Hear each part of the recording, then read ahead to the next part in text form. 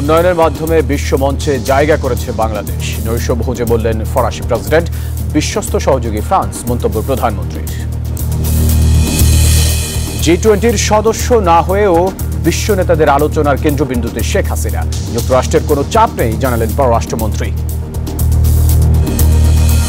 এবং surfing spot খ্যাত পর্তুগালের কোস্টা দ্য ক্যাপারিকা, সৈকতকে কেন্দ্র করে জমজমাট বাঙালি ব্যবসায়ীদের পর্যটন ব্যবসা।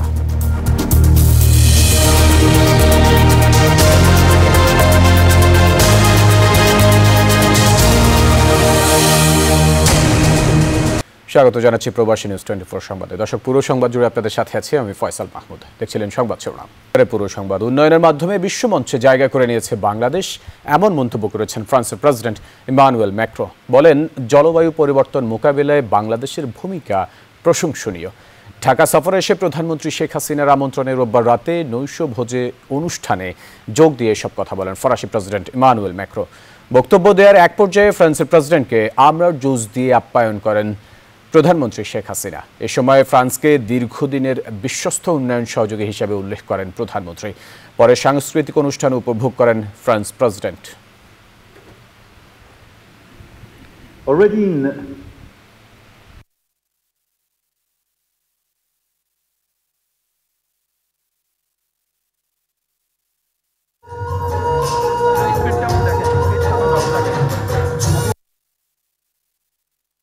a country where nature is abund- as abundant as you, I mean, as yours, knows the importance of preserving its environment. I want to praise your leadership on this issue. France has been our trusted development partner since our independence. We have developed a robust trade partnership with focus on responsible business conduct. দর্শকের আগে দুই দিনের রাষ্ট্রীয় সফরে ঢাকায় পৌঁছেন ফ্রান্সের president Emmanuel Macron রোববার রাতে হজরত শাহজালাল আন্তর্জাতিক বিমানবন্দরে পৌঁছলে উষ্ণ সংবর্ধনায় বরণ করে নেওয়া হয় রাষ্ট্রীয় অতিথিকে। ভারতে জি টোয়েন্টি সম্মেলন শেষে দুই দিনের সফরে ঢাকায় আসলেন ফ্রান্সের প্রেসিডেন্ট। গত তেত্রিশ বছরের মধ্যে এটি প্রথম কোনো ফরাসি প্রেসিডেন্টের ঢাকা সফর। ম্যাক্রোর এই ঢাকা সফরে ফ্রান্স ও বাংলাদেশের মধ্যে হতে পারে দুটি দ্বিপক্ষীয় চুক্তি। তেত্রিশ বছর পর কোন ফরাসি প্রেসিডেন্ট এলেন বাংলাদেশে। রোববার রাতে ঢাকায় অবতরণ করলে ফ্রেঞ্চ প্রেসিডেন্ট ইমানুয়েল ম্যাক্রোকে দেয়া হয় লাল গালিচা সম্বর্ধনা। বাংলাদেশে তাকে স্বাগত জানাতে বিমানবন্দরে উপস্থিত ছিলেন প্রধানমন্ত্রী শেখ হাসিনা।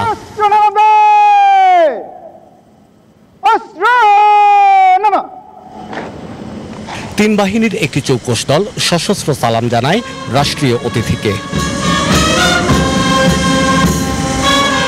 ভূ রাজনৈতিক এবং অর্থনৈতিক প্রেক্ষাপটে ইমানুয়েল ম্যাক্রোর এই সফরকে গুরুত্বপূর্ণ মনে করছে বাংলাদেশ। আশা করা হচ্ছে দুই সালের মধ্যে বিশ্বের বড় বাইশটি অর্থনীতির একটি হবে বাংলাদেশ। এ কারণে ফ্রান্স প্রযুক্তি এবং ব্যবসা ক্ষেত্রে নানা বিষয়ে বাংলাদেশের সঙ্গে কাজ করতে আগ্রহী হয়ে উঠেছে। বিশ্লেষকরা বলছেন সে লক্ষ্য মাথায় রেখেই শীর্ষ পর্যায়ের এ সফর অনুষ্ঠিত হচ্ছে। Thank you, Your Excellency. French প্রেসিডেন্টের এই বাংলাদেশ সফরের মধ্য দিয়ে দেশটির সঙ্গে বিমান ক্রয় এবং স্যাটেলাইট উৎক্ষেপণ বিষয়ে দুটি সমঝোতা স্মারক সই করবে বাংলাদেশ। সই হবে একটি সম্মতিপত্র। Shah Ali Joy, news twenty Dhaka. G twenty সম্মেলনে অংশগ্রহণ বাংলাদেশের সম্মান ও মর্যাদা বাড়িয়েছে বলে মনে করেন পররাষ্ট্রমন্ত্রী ডক্টর এ কে আব্দুল মোমেন। তার দাবি সম্মেলনে বিশ্ব নেতাদের আলোচনার অন্যতম কেন্দ্রবিন্দুতে ছিলেন প্রধানমন্ত্রী শেখ হাসিনা। মার্কিন প্রেসিডেন্ট জো বাইডেনের সাথে সাক্ষাৎকে আন্তরিক ও হৃদ্যতাপূর্ণ উল্লেখ করে মন্ত্রীর দাবি, যুক্তরাষ্ট্রের কোনো চাপে নেই বাংলাদেশ। নয়াদিল্লি থেকে বিস্তারিত জানাচ্ছেন নাহিদ হোসেন।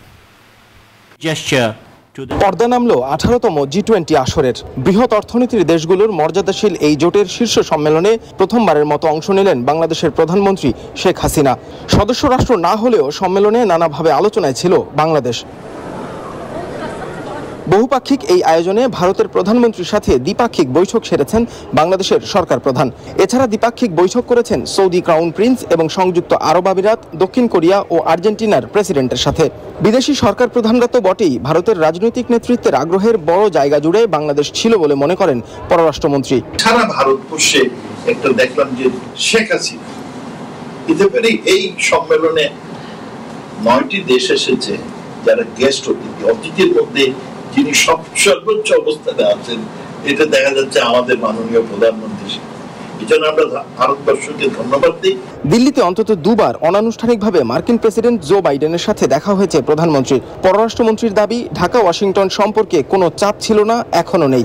আলোচনাটা খুব কি বলব ফ্রেন্ডলি অ্যাটমসফিয়ার খুব আন্তরিক পরিবেশ হয়েছে এবং উনি মাননীয় প্রধানমন্ত্রীর খুব প্রশংসা করলেন এবং দে আর ভেরি হ্যাপি আমাদের সাথে আমেরিকার সম্পর্কটা খুব এবং তারই প্রতি। মাঝে দুজন উল্টাপাল্টা কথা বলে। বহুপাক্ষিক প্ল্যাটফর্ম হিসেবে জি টোয়েন্টির আগামী দিনের পথ চলায় হয়তো বৈশ্বিক অনেক সংকট কাটাতে কাজ করতে পারবে এই সদস্য রাষ্ট্রগুলো।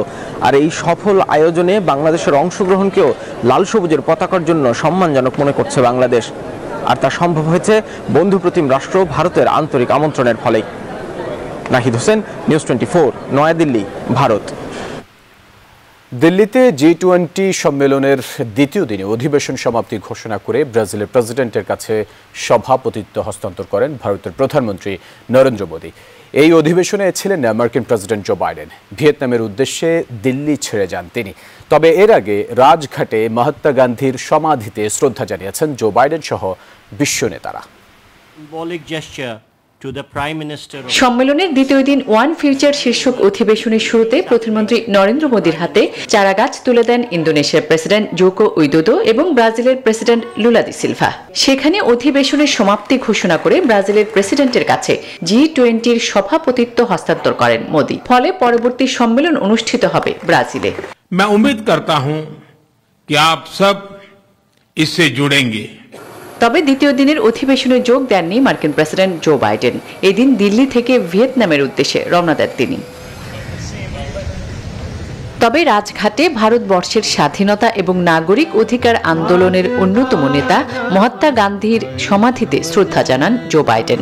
এ সময় প্রধানমন্ত্রী শেখ হাসিনা সহ সম্মেলনে যোগ দেয়া অন্যান্য নেতারাও মহাত্মা গান্ধীর সমাধিতে শ্রদ্ধা জানান। শ্রদ্ধা জানান জাতিসংঘ মহাসচিব অ্যান্তনিও গুতেরেসো রাজঘাটে তাদের সবাইকে স্বাগত জানান ভারতের প্রধানমন্ত্রী নরেন্দ্র মোদী। এদিকে জি টোয়েন্টি সম্মেলনের ফাঁকে সস্ত্রিক দিল্লির অক্ষরধাম মন্দিরে যান ব্রিটিশ প্রধানমন্ত্রী ঋষি সোনাক। মূলত সামিটের প্রথম দিনই গুরুত্বপূর্ণ সিদ্ধান্ত ও পদক্ষেপ গৃহীত হয়েছে। আফ্রিকান ইউনিয়নকে স্থায়ী সদস্য পদ দেওয়ার ঘোষণার পর ভারত, মধ্যপ্রাচ্য ও ইউরোপের সঙ্গে সম্পর্ক আরও সুদৃঢ় করতে এবং বাণিজ্যের প্রসার ঘটাতে বড় পদক্ষেপ গৃহীত হয়। চালু করা হয় ভারত, মধ্যপ্রাচ্য, ইউরোপ সংযোগ করিডর। তবে এবারে জি টোয়েন্টি সম্মেলনের সবচেয়ে বড় প্রশ্ন ছিল ঘোষণাপত্র জারির বিষয়টি। কারণ পশ্চিমা দেশগুলো ইউক্রেনে রাশিয়ার আগ্রাসনের তীব্র নিন্দার পক্ষে ছিল, যা মানতে নারাজ। রাশিয়া চীন। ভারত এমন একটা অবস্থান নিতে চেয়েছিল যাতে সর্বসম্মতভাবে বিষয়টি নিয়ে এগোনো যায়। আর এটাই ছিল ভারতের প্রধানমন্ত্রী নরেন্দ্র মোদী ও কূটনীতিকদের পরীক্ষা ও চ্যালেঞ্জ। শেষ পর্যন্ত সেই পরীক্ষায় সফল হয়েছেন মোদী। সবার সম্মতিতে গৃহীত হয়েছে ঘোষণাপত্র। আসমাতুলি news twenty four to the Prime Minister of India. Australian Muslim welfare centre incorporated এর বার্ষিক সাধারণ সভা এজিএম অনুষ্ঠিত হয়েছে। দশ সেপ্টেম্বর মিন্টুস্থ নিজস্ব ভবনে এই বার্ষিক সাধারণ সভায় দুই থেকে দুই সালের জন্য নতুন কার্যনির্বাহী কমিটির ইসি নির্বাচন অনুষ্ঠিত হয়। নির্বাচন কমিশনার ডক্টর তোজাম্মেল হোসেন আনুষ্ঠানিকভাবে নির্বাচিত বারো জন পদাধিকারী এবং সাতজন কার্যনির্বাহী সদস্যের নাম ঘোষণা করেন। এখানে আমরা নয় সেপ্টেম্বর অস্ট্রেলিয়ার সিডনির ইঙ্গেলবার্নের গ্রেট পার্সিভাল হলে রাধাকৃষ্ণ গৌরীর মন্দির সংগঠন শ্রীকৃষ্ণের জন্মদিন, জন্মাষ্টমী উদযাপন করে। দিবসটি উপলক্ষে মন্দিরের পক্ষ থেকে সিডনির বিভিন্ন শহরতলিতে সপ্তাহব্যাপী শ্রীকৃষ্ণের জন্মাষ্টমী ও নন্দোৎসবের আয়োজন করা হয়।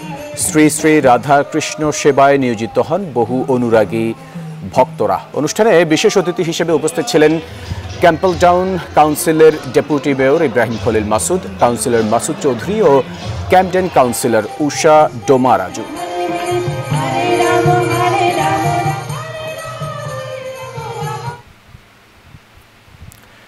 তরুণ প্রজন্মকে খেলাধুলায় আগ্রহী করে তুলতে এবং ঐক্যবদ্ধ করতে সামাজিক কমিউনিটি গঠন করে ইতালি, গঠন করে ইতালি পাদোভায় এবিপি সহযোগিতায় এগিয়ে আসে ইতালির পাদোভায় এবিপির ক্রিয়া সম্পাদক আরিফ মোহাম্মদ, ফাহাদ মাহিন ও অলি। সার্বিক তত্ত্বাবধানে ছিল এবিপির নির্বাচিত সভাপতি। নয় সেপ্টেম্বর স্থানীয় একটি মাঠে দিনব্যাপী আটটি দলের অংশগ্রহণে এই ক্রিকেট টুর্নামেন্ট অনুষ্ঠিত হয়। টুর্নামেন্টে প্রথম সেমিফাইনালে মা মাটি একাত্তর, কুমিল্লা ভিক্টোরিয়ান্সকে পরাজিত করে ফাইনালে ওঠে। দ্বিতীয় সেমিফাইনালে ত্রেভিজো বাংলা টাইগার্স, জগন্নাথপুর ভৈরব দলকে পরাজিত করে ফাইনালে উত্তীর্ণ হয়। আর ফাইনালে ত্রেভিজো বাংলা টাইগার্স ক্রিকেট দল মা মাটি একাত্তর দলকে পরাজিত করে চ্যাম্পিয়ন হওয়ার গৌরব অর্জন করে।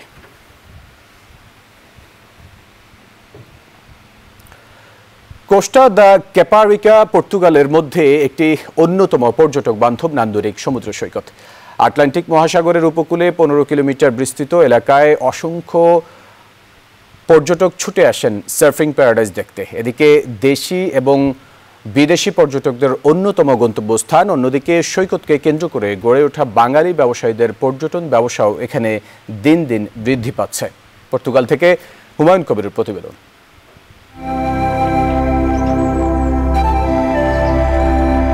পর্তুগালের রাজধানী লিসবন শহরের দক্ষিণ পশ্চিমে সতেরো কিলোমিটার দূরত্বে কোস্টাদা ক্যাফেরিকার সমুদ্র সৈকত। যেখানে লিসবন শহর থেকে তাগুস রিভার পার হয়ে দৃষ্টিনন্দন পথ দিয়ে যেতে সময় লাগে মাত্র বিশ থেকে ত্রিশ মিনিট।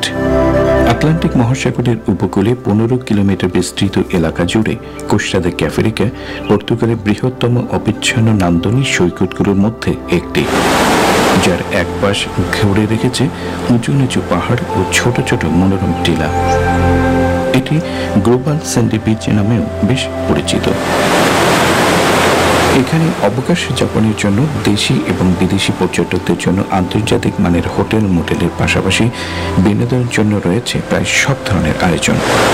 সৈকতে প্যানোরামিক দৃশ্য উপভোগ করার জন্য রয়েছে আইকনিক ট্রান্সপারেন্ট বিচ ট্রেন উপকূলরেখার প্রাকৃতিক সৌন্দর্য, আকর্ষণীয় সূর্যাস্ত এবং নির্মল পরিবেশ সহ গভীর, স্বচ্ছ, ঠান্ডা জলের উঁচু নিচে ঢেউ যা যে কাউকে অনায়াসেই মুগ্ধ করবে।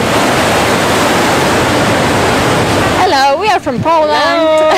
we love this place. This beach is wonderful. And come on and see this place.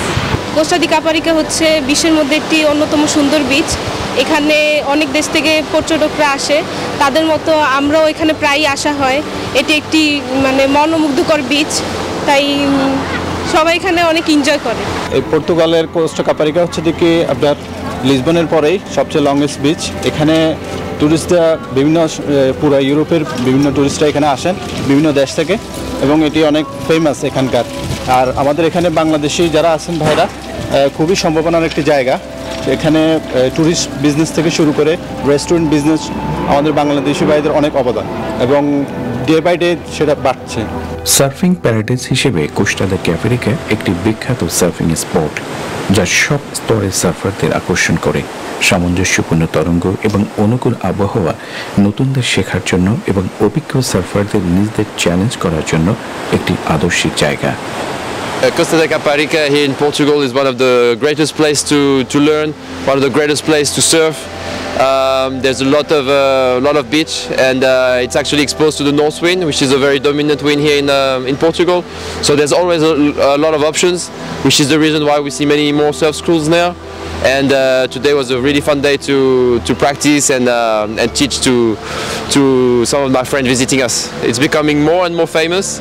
Uh, there's many competitions too, international competitions happening here, and uh, yeah, Caparica has established itself as one of the probably one of the best places in Europe to ride. আর এই জন্যই কোস্টাদা ক্যাফেরিকা সমুদ্র সৈকতটি পর্যটকদের জন্য হয়ে উঠেছে একটি পরিবার বান্ধব আদর্শিক গন্তব্যস্থান প্রকৃতির নৈসর্গিক সৌন্দর্যে সমৃদ্ধ, স্বর্ণালী, স্নিগ্ধ বালুকাময় সমুদ্র সৈকত, স্বচ্ছ রৌদ্র করজ্জল নীলাভ মায়াবী সমুদ্র সৈকতের বড় বড় ঢেউ, মুখরোচক টাটকা সামুদ্রিক খাবারের তাজা সুগন্ধ, পর্তুগিজ সংস্কৃতি ও সঙ্গীতের সুরলা স্টেইন এই কোস্টাদা ক্যাফেরিকার সমুদ্র সৈকত বিশ্বের সমুদ্র ভ্রমণ পিপাসু পর্যটকদের কাছে যেমন পরিচিত হয়ে উঠেছে, তেমনি সার্ফারদের কাছে কোস্টাদা ক্যাফেরিকা একটি বিখ্যাত সাফিং স্পট ও আদর্শিক জায়গা হিসেবেও বিশ্বব্যাপী পরিচিতি লাভ করেছে। পর্তুগালের মনোমুগ্ধ কোস্টাদের ক্যাফেরিকা থেকে হুমায়ুন কবির, নিউজ টোয়েন্টি ফ্রান্সে বসবাসরত প্রবাসী বাংলাদেশিদের বাংলা বিনোদন ও দেশীয় মেলার আমেজ দিতে এবার আয়োজন করা হয়েছে ফ্রাঙ্কো বাংলা সামার ফেস্ট নামে বাংলাদেশি কনসার্ট অনুষ্ঠানের। বাংলাদেশের ব্র্যান্ড সঙ্গীতের অন্যতম জনপ্রিয় শিল্পী হাসান ও বর্তমান সময়ের জনপ্রিয় কণ্ঠশিল্পী ঐশী কণ্ঠের জাদু দেখালেন অনুষ্ঠানে। প্রশাসনিক ও আইনি সহায়তা প্রতিষ্ঠান অফিওরা ও শাহ গ্রুপের যৌথ আয়োজনে প্যারিসের অদূরে বাংলাদেশে অধ্যুষিত ইস্তা এলাকার অত্যাধুনিক অডিটোরিয়ামে কনসার্ট অনুষ্ঠিত হয়। ফ্রান্স থেকে ফেরদৌস করিম আখুঞ্জির তথ্য ও ছবিতে ডেস্ক রিপোর্টে বিস্তারিত। সাত আগস্ট ফ্রান্সের প্যারিসে বাংলাদেশে অধ্যুষিত ইস্তা এলাকায় পরিণত হয় লাল সবুজে মিলন মেলায়। বাংলাদেশের ব্যান্ড সঙ্গীতের অন্যতম জনপ্রিয় শিল্পী হাসান ও বর্তমান সময়ের জনপ্রিয় কণ্ঠশিল্পী ঐশী নাচে গানে মাতালেন এই দিন। প্যারিসের প্রশাসনিক ও সহায়তা প্রতিষ্ঠান আফিওরা ও শাহ গ্রুপের যৌথ আয়োজনে অত্যাধুনিক অডিটোরিয়ামে এই কনসার্ট অনুষ্ঠিত হয়। যদিও এই কনসার্টটি অনুষ্ঠিত হওয়ার কথা ছিল তিন সেপ্টেম্বর। পরে বিভিন্ন জটিলতায় অনুষ্ঠানের সময়সূচি পরিবর্তন করা হয়। ফ্রাঙ্কো বাংলো সামার ফেস্টে ফ্রান্স এবং বাংলাদেশের জাতীয় সংগীত বাজানোর মধ্য দিয়ে শুরু হয় কনসার্ট। বক্তব্য রাখেন ইস্তা মিউনিসিপ্যালিটির mayor Azzedine Taibi, councillor Kaushik Rabbani Khan, Shah গ্রুপের চেয়ারম্যান সত্তার আলী শাহ আলম এ সময় উপস্থিত ছিলেন মিউনিসিপ্যালিটির মেরির অন্যান্য কাউন্সিলর বৃন্দরাও ফ্রান্সে ধীরে ধীরে বাংলাদেশি কমিউনিটির আকার বাড়ছে এবং তারা যে শক্ত অবস্থানে যাচ্ছে, সেটিও এই কনসার্টের মাধ্যমে তুলে ধরে আয়োজকরা। বাংলাদেশি কমিউনিটিতে চলতি বছরের সবচেয়ে মেগা সাংস্কৃতিক অনুষ্ঠান ছিল এটি। Desk report, news twenty